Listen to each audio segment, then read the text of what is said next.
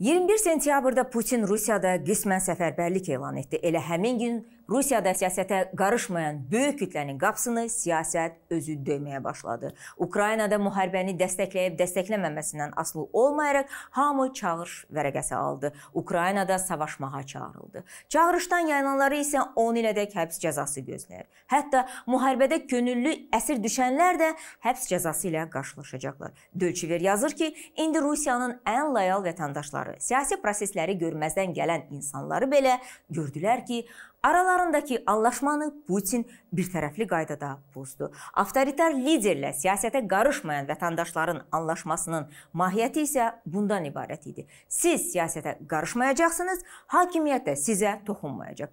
Putinin hakimiyyəti 20 il idi ki, bunun üzərində dururdu. Seçkilərə gedənlər də, getməyənlər də. Səssizcə hakimiyyətin təbliğatına inananlar da, inanmayanlar da.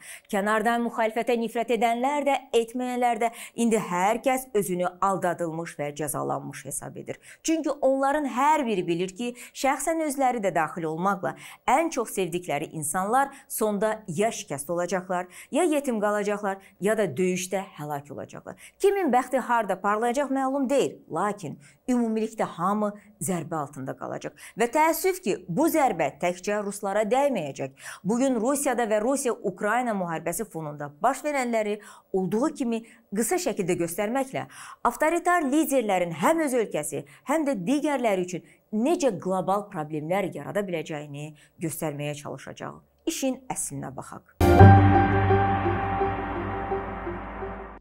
10 gün öncə Putin qismən səfərbərlik elan etdi və Ukrayna torpaqlarının bir hissəsinin Rusiya birləşdirilməsi məqsədi ilə referendum keçiriləcəyini bəyan etdi. Əslində Putinin bu dedikləri onun məğlubiyyətinin etirafı idi. Əlbəttə ki, Putin özünü və ətrafını inandıra bilər ki, artıq Luqansk, Donetsk, Zaporojye və Xerson vilayətləri Rusiya torpaqlarıdır. Amma nə Ukrayna, nə də dünya avtomat qülləsi altında keçirilən səsverməni, daha doğrusu bu işğalı qəbul etməyəcək. Ukrayna xalqı artıq çoxdan vətən uğrunda müharibənin Krım daxil olmaqla bütün ərazilər işğaldan azad ediləndə bitəcəyini deyib. Son günlər cəbhədən gələn xəbərlər isə Ukrayna ordusunun uğurlu əks əməliyyatları və torpaqların işğaldan azad olunması haqqındadır. Bir çox ekspertlər səfərbərliklə bağlı qərarı Şanxay Əməkdaşlıq Təşkilatının zirvə toplantısında Putinin aldığı mesajlarla əlaqələndirirlər. Məsələn, Deutsche Welle yazır ki, Səmərqənddə bütün dünya zəiflənmiş və təcrid olunmuş Putinin üzünü yaxından gördü. Televiziya kameraları dövlət başçılarının gözləməyə məcbur etdikləri Putinin necə qocaldığını aydın göstərdilər. Putin divanda sakitcə oturub onların nə demək istədiklərinə qulaq asırdı. Türkiyə, Çin və Hindistan aydın şəkildə bildirirdilər ki, onlar müharibəni dəstəkləmirlər və Ukraynanın ərazi bütövlüyünü tanıyırlar. Müharibə artıq dünya iqtisadiyyatı üçün bir yükə çevrilib və xüsusilə də Putinə yaxınlıq edən siyasətçilərin vəziyyətini pisləşdirir. Yəni analitiklərin bir qismi demək istəyirlər ki, bütün bunlar və həm də tərəfdaşlara müharibəni udmaq əzmində olduğunu göstərmək istəyi Putini səfərbərlik elan etməyə vadar etdi. Gəlin bir neçə ay əvvələ qayıdaq. Hələ martda Putin deyirdi ki, ordumuz qarşıya qoyulacaq vəzifənin öhdəsindən gələcək. Odur ki, əlavə çağırışa ehtiyac olmayacaq. Təkrar edirəm. Bu xüsusi hərbi əməliyyat zamanı biz nə çağırışçıları, nə təlimlərə çağırılanları heç birini istifadə etməyə hazırlaşmırıq. Yəni demək istəyirəm ki, bizim ordumuz qarşısında duran bütün məsələləri həll eləyəcək. Buna heç şübhə etmirəm. Bu haqda xüsusi hərbi əməliyyatın gedişatı da deyir. Hər şey plan üzrə gedir. Müharibədən öncə Putinin Ukrayna sərhədinə yığdığı 250 minlik ordudan son 7 ayda nə qədəri ayaqda qala bilib, nə qədəri döyüş qabiliyyətindədir bilinmir. Bilinən odur ki, Rus ordusu Ukraynada həm canlı, həm texnika baxımından ciddi itkilər verib. Hətta fevralda qorxu yayan Çeçen döyüşçülərinin paylaşdıqları videolar belə çoxdan yenilənmir. Putinin peşəkar adlandırdığı ordusu yayılan video materiallardan da görünür ki, korrupsiyanın və özbaşınalığın qurbanıdır. SSRİ-dən qalma təchizatla müharibəyə göndərilib və beləliklə 7 ayın sonunda sentyabr ayında Putin səfərbərlik elan etmək məcburiyyətində qaldı.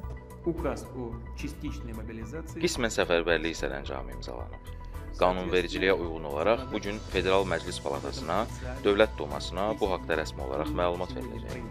Səfərbərlik tədbirləri bu gündən 21 sentyabrdan başlayacaq. 21 sentyabrda siyasət Rusiyalıların hər birinin qapısını döyməyə başladı. Rusiyalılarsa hətta dünənə qədər Putinin Ukraynada apardığı müharibəni dəstəkləyənlər belə nə özlərinin, nə də qohumlarının, doğmalarının bu müharibədə döyüşməsini istəmirlər. Rusiyada keçirilən son sosioloji sorğuların nəticələri göstərir ki, Putinin Ukraynada apardığı müharibəni dəstəkləyənlər passiv kütlədir. Yəni onlar bu savaşı mavi ekranı qarşısında oturub izləməklə Kremlin aqressiv və yalan propagandasına əl çalmaqla dəstəkləyirlər və bu savaşda özlərinin deyil, başqalarının döyüşməsindən yanadırlar. Əslində Kreml onları inandırmışdı ki, Rusiyadakılar müharibəni hiss etməyəcəklər. Savaşı peşəkar ordu həyata keçirəcək və tez bir zamanda da bitirəcək. İndi isə vəziyyət başqadır. Səfərbərlik elan olunub və evlərə çağırış vərəqələri göndərilir. Adamlar isə müharibəyə və döyüşməyə ya etiraz edirlər, ya da ölkədən qaçırlar. Çünki ölümə göndərildiklərini bilirlər və şuuraltı onu da bilirlər ki, bu savaş onların deyil. Rusiya Müdafiə naziri Sergey Şaygu səfərbərliyə 300 min adamın cəlb ediləcəyini elan etdi. Lakin son bir həftədə səfərbərliyin necə həyata keçirdiyini təhlil edən ekspertlər hesab edirlər ki, əslində Kremlin planı 1 milyon adamdır. Rusiyanın Novaya Gazeta Avropa və Meduzanın yaydığı məlumatlarda bildirilir ki, Kremlin hədəfi səfərbərliyə 1 milyondan çox insanı cəlb etməkdir. Hətta bəzi hərbi komissarlıqlarda insanlara 3 dalğalı səfərbərliyin həyata keçiriləcəyi xəbəri verilir. Şayqu müəyyən kateqoriyalar üzrə yalnız ehtiyatda olanların çağırılacağını desə də, hərbi komissarlar başqa məlumatlar verirlər. Səfərbərlik üçün məhdudiyyət yoxdur. Hamı çağırılacaq. Çağırışçılar üçün hal-hazırda heç bir məhdudiyyətlər yoxdur. Yəni biz bütün kateqoriyalar üzrə vətəndaşlarla işləyirik. 24 fevralda başlayan müharibədə bu günə qədər hər iki tərəfdən 10 minlərlə insanın həlak olduğu bildirilir. Səfərbərlik isə o deməkdir ki, Putin 10 mini deyil, 100 mini də qurban verməyə hazırdır.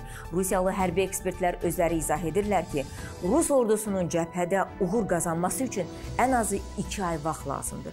Bu 2 ayda səfərbərliyə cəlb edilmiş 10 minlərlə əskər və zabitə yaxşı təlim keçməklə və təchiz etməklə nəyəsə ümid etmək olar. Lakin reallıq isə, yəni səfərbərliyin necə həyata keçirildiyini əks etdirən video görüntülər bunun tam əksini deyir. Onlara bildirilir ki, dövlət çağırışçılara silahdan başqa heç nə verə bilmir. Hətta formanı, ilk tibbi yardım üçün ləvazimatları, hətta jibutu belə hər kəs özü əldə etməlidir. Səfərbərliyə çağırılanların bir qismini isə artıq cəbhəyə göndəriblər. Bu videoda hərbiçi qadın çağırıcılara səslənir ki, ilk tibbi yardım üçün evdəkilərə deyin, sizə qadınların gigiyenik məqsədlə istifadə etdikləri ucuz bezlərdən alıb göndərsinlər. Çağırıcıların etirazlarına isə qadın belə cavab verir. Siz hansı ölkədə yaşadığınızı bilmirsiniz? Azad Buratiya fondunun rəhbəri Aleksandra Qarmajapova Dost kanalına müsahibəsində danışıb ki, Buratiyanın Çita rayonunda kişilər mövsümi işlə əlaqədar olaraq tayqada meşəyə məhsul yığımına gediblər. Hərbi komissarlıq çağırışa gələn kişilərin sayının azlığına görə əskərləri meşələrə yollayıb ki, kişiləri tapıb gətirsinlər. Yayılan videolardan görünür ki, 58-63 yaşlı qocaları belə səfərbərliyə cəlb edirlər. Ukraynaya yollayıblar. Səfərbərliyə çağırılanlar tibbi komissiyadan keçmədən həmən avtobusa doldurulub Ukraynaya yola salınırlar. Real vəziyyət bundan ibarətdir ki, kişilərin hərbidə xidmət edib etməməsini, müharibəyə yararlı olub olmadığını, ümumiyyətlə səfərbərlik barədə qaydalara uyğun olub olmadığını müəyyən etmədən, yoxlamadan hamını müharibəyə göndərirlər. Hətta hərbi çağırış məntəqəsinin qarşısında çəkilən videoda ruslar özlərini sərxoş vəziyyətdə çəkib göstərərək səfərbərliyi və müharibəni ələ salırlar ki, görün kimləri savaşa göndərirlər. Kantimuşka, bax, bura Kavalerski hərbi komissarlığıdır. Burada polislər dayanıblar. Bu da mən. Ön cəbhəyə gedirik. Biz hamımız bu vəziyyətdəyik. Hamımız da bu vəziyyətdə gedirik. Səfərbərliyə cəlb olunmuş çağırışçılar yaydıqları videolarda onlara necə köhnə, paslanmış silahların, avtomatların paylandığını göstərirlər. Səfərbərliyin necə həyata keçirdiyini əks etdirən bütün bu görüntülər bir daha ondan xəbər verir ki, Putinin məqsədi heç də döyüşkən ordu yığmaq deyil, cəbhədə düşmənin qarşısına çıxarmaq üçün sadəcə adam lazımdır. Bu adamlar hətta vuruşmağı bacarmasalar belə Bu səfərbərlik Putinə həm də siyasi və psixoloji məqsədlər üçün lazımdır. Düşmənlərinə və tərəfdarlarına göstərmək istəyir ki, nəyin bahasına olursa olsun geri çəkilməyəcək. Milyon insanı belə qurban verməyə hazırdır. Cəbhənin o biri tərəfində isə Ukraynalılar baş verənləri belə ələ salırlar.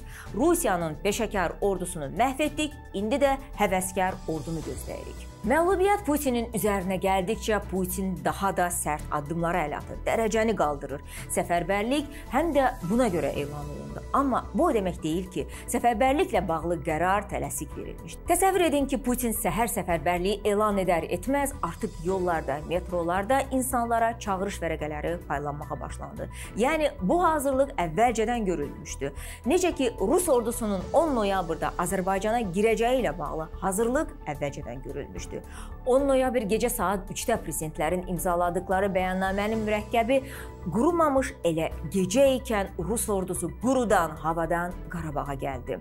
Ekspertlər hesab edirlər ki, hərbiçilər səfərbərliyin elan edilməsi ilə bağlı uzun müddətdir israr etsələr də, Putin bunun siyasi risklərini başa düşdüyü üçün tərəddüd edirdi. Əsas risk bu gün Rusiyanın mərkəzi şəhərlərində və əyalətlərində səfərbərliyə qarşı gördüyümüz etirazdan qaynaqlanır. Yeri gəlmişkən son 10 gündə Rusiyada 50-dən çox administrativ binalar və hərbi komissarlıqlar yandırılıb. Bütün bunlar Rusiyadakı cəza tədbirlərinin tam sərtləşdirildiyi bir dövrdə baş verir. Halbuki küçə etirazlarına və müharibəyə qarşı çıxdıqlarına görə onları 15 sutka yox, 15 ilədək həbs cəzası gözləyə bilər. Rusiyanın 5-6 il öncəki reallığı da dəyişib. Yəni bundan əvvəl Rusiya cəmiyyəti Ukraynadakı müharibəni dəstəkləməklə bağlı ikiyə bölünmüşdü. Müharibəyə qarşı çıxanlar və müharibəni sadəcə kameralar qarşısında dəstəkləyənlər mövcud idi. İndi isə bu müharibədə ölmək istəməyənlər ya ölkədən qaçır, ya da passiv kütlə artıq aktiv etirazçıya çevrilir. Bunu Dağıstandakı qəzəbli etiraz aksiyalarının video görüntüləri deyir. Artıq Rusiyanın özündə ekspertlər bu müharibənin sonda Rusiyanın dağılacağına, gətirib çıxaracağını deyirlər. Rusiya Federasiyası elə bir ciddi böhranla üz-üzə qalacaq ki, bunu bir sözlə ifadə edə bilərəm. Dağılmaq. Ölkənin dağılması. Ola bilsin ki, bir müddətlik kökə və qamçıdan istifadə edərək bu prosesi gecikdirmək mümkün olsun. Lakin Rusiyanın dağılması prosesi artıq başlayıb. Gələk aktiv döyüşlərin getdiyi müharibə meydanına. Ukraynaya və Ukraynalılara qarşı qəddarcasına davranan Rusiya Ukrayna savaşında NATO-nu müharibəyə cəlb edəcək hərəkətlərdən çəkinir. Məsələn, Rusiya NATO ölkələrindən göndərilən silahların təchizat xəttini vurmaqdan ehtiyat etdiyi üçün buna əl atmır. Əgər alyansın heyətinə zərər dəyərsə, bu NATO ilə açıq müharibənin başlaması deməkdir. Putin əlbəttə ki, bunu istəmir. Rusiyada isə təbliğat artıq bunun üzərində qurulub. Biz Ukrayna ilə deyil, bütün dünya ilə, Qərblə, NATO ilə savaşırıq. Amerikalıların silahı da yaxşıdır. Şimali Atlantika bloku da güclüdür. Bütün qərb dünyası hamısı bir yerdə bizim üstümüzə düşüblər. Peşəkarlar da onlarda çoxdur. Bu peşəkarlar da Xarkov vilayətində yaxşı iş görə biliblər. Bu propagandanın arxasında həm də Putinin özünü müdafiə məqsədi gizlənir. Yəni müharibəni bizdən kiçik Ukraynaya deyil, NATO-ya uduzuruq. Amma bununla belə yenə də Putinə bu sualı verən tapılacaq. Bu savaşa başlamadan öncə müharibənin gedişatını mümkün ssenarilər düşünmək olmazdımı? Bu savaşda biz Putinin NATO-nun qarşısında geri çəkildiyi məqamları da gördük. Məsələn, İsveç və Finlandiyanın NATO-ya üzvlük məsələsi gündəmə gələndə Putin sərt cavab verəcəyini demişdi. İsveç və Finlandiyanın NATO üzvlüyü isə artıq həll olunmuş məsələdir. Yaxud Putin Qərbi hədələmişdi ki, Ukraynaya hücum silahları verilərsə, cavabı çox sərt olacaq. İndi Qərbin Ukraynaya necə deyirlər, az qala vermədiyi silah qalmayıb. İndi özünü olduqca azğın aparan Putinə Qərbin bəlkə də ən doğru cavabı Ukraynanın NATO-ya üzvlüyə qəbul prosedurunu başlaması olardı. Yeri gəlmişkən Ukrayna artıq NATO-ya tezləşdirilmiş qaydada üzv olmaq üçün rəsmi müraciət edib. Əvvəlcə Kiyevi 2 günə tutmaq planı baş tutmadı. Sonra Donetsk və Luqansk vilayətlərinin bütün ərazisini tutmaq planı məhv oldu. Daha sonra Ukrayna uğurlu əks hücumu planı həyata keçirməyə başladı. Görünən odur ki, Putinin 3 yolu var idi. Birincisi, məğlubiyyətini etiraf etmək və bu müharibəni dayandırmaq. Bu isə özünə qəsd etmək deməkdir. İkinci səfərbərlik elan etmək idi. Üçüncü isə nüvə silahından istifadə etmək. O son çıxışında bu üçünü də birləşdirdi. Müharibəni dayandırmasa da qərarları ilə məğlubiyyətini etiraf etmiş oldu. Referendum və səfərbərlik qərarı elə məğlubiyyətin etirafı idi. Sonda da nüvə silahı ilə təhdid etdi və üstəlik əlavə etdi ki, bu heç də blef deyil. Yeri gəlmişkən ABŞ prezidentinin milli təhlükəsizlik üzrə müşaviri Jake Sullivan deyib ki, biz çox yüksək səviyyədə birbaşa Kremlin nəzərinə çatdırmışıq ki, nüvə silahının istənilən tətbiqinə Rusiya üçün katastrofik nəticələri olacaq. ABŞ və müttəfiqləri buna qəti cavab verəcəklər. Biz bunun nə ilə nəticələnəcəyini aydın və konkret onlara bildirmişik. Birisi müharibəni seçir, digəri müharibəyə son verir. Əgər Rusiya savaşı durdursa, müharibə bitər. Əgər Ukrayna savaşı dayandırsa, Ukrayna bitər. Bax, buna görə biz Ukraynaya dəstəyimizi davam etdirəcəyik. Biz onun silahı taqqıldatmasına və uydurma təhdidlərinə fikir verməməliyik. Bunun əksinə, biz Rusiyaya qarşı sanksiyaları və Ukraynaya dəstəyimizi davam etdirməliyik. Qərb hər nə qədər risklər böyük olsa belə, təhdidlərin qarşısında geri çəkilməyəcəyi mesajlarını verir. Dünya artıq necə böyük təhlükə ilə üz-üzə qaldığını nəinki görür, həm də onu hiss edir. Dünya 90 il öncə bir ölkədəki avtoritarizmin kiçik təhdidlərdən başlatdığı aqressiyanın sonda dünyanın ən böyük savaşına 10 milyonların məhvinə necə apardığının dərsini öyrənib. NATO eskalasiyadan nə qədər çəkinsə də, lakin nüvə silahının tətbiqinin real təhlükəsinə biganə qalmayacağı mesajını həm siyasi, həm də hərbi ekspertləri tərəfindən dilə gətirir. İndi dünya 24 fevraldan əvvəlki durumdadır. 24 fevraldan öncə hamı bu sualın cavabı üzərində baş sındırırdı. Putin Ukraynaya qarşı iri miqyaslı hərbi əməliyyata başlaya bilərmi? Çoxu buna inanmaq istəməsə də, amma olan oldu. İndi də eyni vəziyyətdir. Putin nüvə silahına əl ata bilərmi?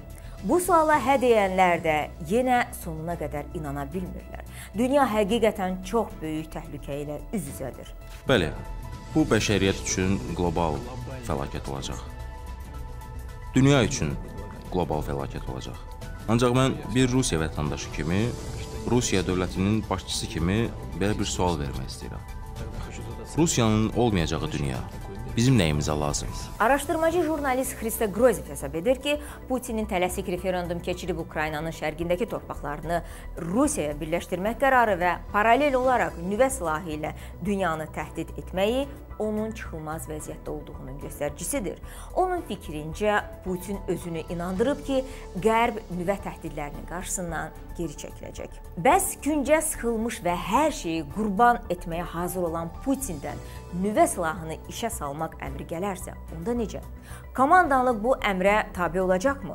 Grozevin fikrincə hətta bu halda belə əmrin reallaşması ehtimalı çox aşağıdır. Onu da deyim ki, bir çox ekspertlər bu variantı istisna etmirlər. Zabitlər böyük ehtimal onun əmrlərinə tabe olmayacaqlar. Çünki zəif Putin onları gələcəkdə tribunaldan, mühakimədən və hətta mənəvi qınaqdan qoruya bilməyəcək. Gələcəkdə Putin olmayacaqsa, demək onun tərəfindən müdafiə də olmayacaq. Ona görə düşünürəm ki, Putin deyəndə ki, nüvə silahını istifadə edəcək, o blef edəcək. Nüvə silahından istifadə əmrini verəcəyi ehtimalı çox aşağıdır.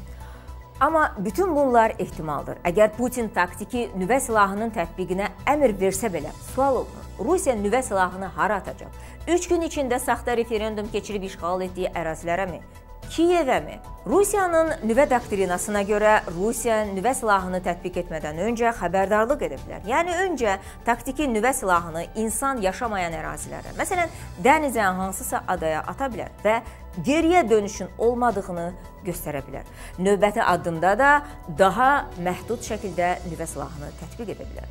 Buna görə də indi çox müzakirə olunan ikinci sual budur. Yaxşı, deyəlim Putin nüvə silahının tətbiqi əmrini verdi və reallaşdı. Bəs bundan sonra və elə bu sualın cavabları əsasında Putinin bu addımı atıb atmayacağına cavab tapmaq olar. Deyəlim ki, Kreml nüvə silahını işə salıb. Bu Qərbi qorxudacaqmı? Ukraynadan sonra Putinin növbəti hədəfləri nə olacaq? Baltikyanı ölkələrmi, yoxsa keçmiş SSR-nin nüfuz dairəsində olmuş Şərqi Avropa ölkələrmi? Putin harda dayanacaq? Hitler də 2-ci Dünya müharibəsinə kiçik ərazi iddialarından başlamışdı. Cəhd belə eləmə. Eləmə. Eləmə. Bu müharibənin gedişatını tam dəyişdirəcək. Bu 2-ci Dünya müharibəsindən daha betər olacaq. Rusiyanın nüvə siyasətinin tədqiqatçısı Maksim Starçak Meduzaya müsahibəsində bildirib ki, hər nə qədər az olsa belə, amma yenə nüvə silahının tətbiqi ehtimalı var. Əgər nüvə silahı tətbiq edilərsə, işə düşəcək mümkün ssenarilər bunlar ola bilər.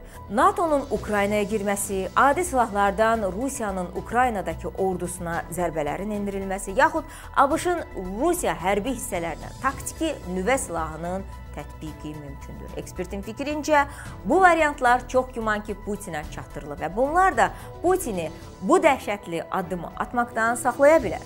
Bu ssenarinin işə düşəcəyini az ehtimal edən Starçak düşünür ki, səfərbərliyin özü də nüvə silahından xilas olmaq üçün seçim ola bilər. Putinin Ukrayna məsələsini canlı qüvvə ilə həll etmək istəyinin göstəricisi də ola bilər. Əgər bu səfərbərlik cəbhədə Kreml üçün öz nəticələrini göstərməzsə, o zaman gözləndiyi kimi ikinci və üçüncü dalğa səfərbərlik olacaq. Ukraynalı siyasətçi Aleksey Aristoviç də hesab edir ki, nüvə silahının tətbiqi ilə bağlı real təhlükə yarandığı təqdirdə NATO həmən aktiv fəaliyyətə keçəcək. Real nüvə təhlükəsi Ukrayna müharibəsi dövründə NATO-nu saxlayan bütün məhdudiyyətlərin aradan qaldırılması demək olacaq. Yəni nüvə silahının tətbiqinin qarşısını almaq üçün NATO-nun müharibəyə qoşulmasına və eyni zamanda alyans qüvvələrinin Ukraynanın Belarusun ərazisinə girməsi üçün məhdudiyyətlərin aradan qalxmasına. Ha belə Qara dəniz donanmasına zərbəyə, Rusiya ərazisinə və Rusiya Federasiyasının silahlı qüvvələrinə atəş açmasına və s. bütün bunların baryerlərin aradan götürülməsinə yol açacaq. Aristoviç bildirir ki, nüvə silahının işə salınmasında Putini, hətta müttəfiqləri Çin və Hindistan belə dəstəkləməyəcək. Çünki Putinin bu addımı qlobal nüvə müharibəsinin başlamasına zəmin yaratmaqla bərabər elə Çin və Hindistanın özünü də nüvə təhlükəsi ilə üz-üzə qoyacaq. Əgər nüvə təhlükəsi reallaşarsa, ABŞ-ın anındaca sərt ultimatumu səsləndiriləcək və məzmunu da təxminən belə olacaq.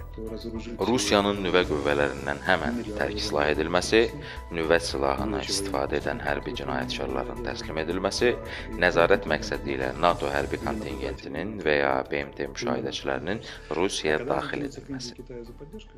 Verilişimizin əvvəlinə bu cümlə ilə başlamışdıq. İllərdir siyasətə qarışmayan milyonlarla Rusiyalıların qapısını bu gün siyasət bir-bir döyməyə başlayıb. Lakin bəla bundadır ki, Rusiyalıların öz evlərində qarışmaq istəmədikləri siyasət təkcə onların deyil, bütün dünyanın qapısını döyməyə başlayıb. Rusiyadakı diktator beyin dünyanı nüvə silahı ilə təhdid edir. Dünyada elə bir savaş başlaya bilər ki, bu bütün dünyanın sonunu gətirə bilər.